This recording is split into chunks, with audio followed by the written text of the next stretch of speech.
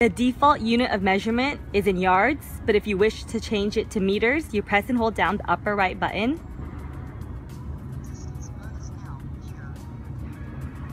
And you can tell it's in meters because there'll be an M at the top of the screen.